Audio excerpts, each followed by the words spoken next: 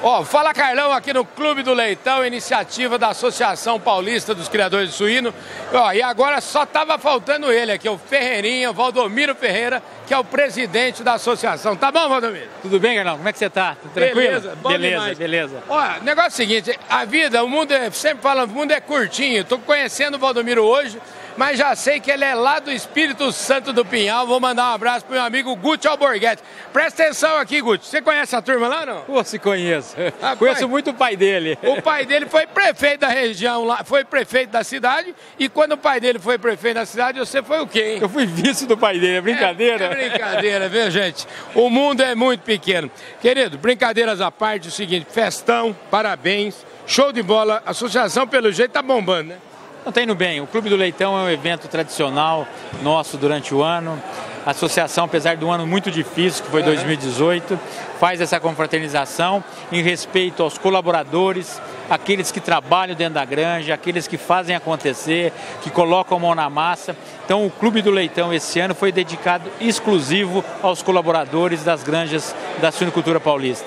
Pois é, eu estava falando ali com o Gerardo, né, que foi homenageado aí, é, muito emocionado com a homenagem que ele recebeu.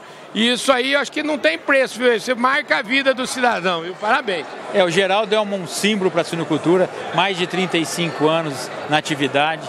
Não é fácil, uhum. é de domingo a domingo, uma dedicação, uma determinação, um comprometimento, uma cumplicidade. A granja que ele passou vem uma, uma granja que vem crescendo ano a ano uhum. e tem muita mão dele lá. E o reconhecimento da família e o mais importante, também o reconhecimento dos, dos patrões que sente que o Geraldo é uma referência para a grande agropecuária breciane. Maravilha. Escuta, fala um pouquinho, que tamanho tem a agricultura, a agricultura, a suinocultura paulista hoje? Suinocultura hoje tem 70 mil matrizes tecnificadas. Nós somos um grupo hoje em torno de 40 suinoculturas no estado de São Paulo com tecnificação. É uma suinocultura que está dentro eh, na porta do consumidor, então nós temos a responsabilidade de produzir para mostrar para o consumidor final a importância da qualidade da carne suína em termos de mercado.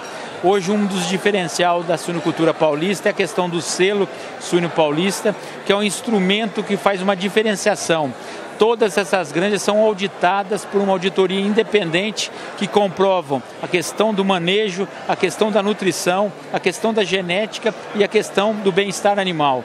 São quatro fatores fundamentais para o consumidor final ter o conhecimento do que, que é hoje uma carne suína paulista. Maravilha, querido, super obrigado. Vou te falar, Carlão, eu queria que você soubesse que o Fala Carlão está à disposição da suinocultura paulista e da suinocultura brasileira, viu? Conte com a gente sempre.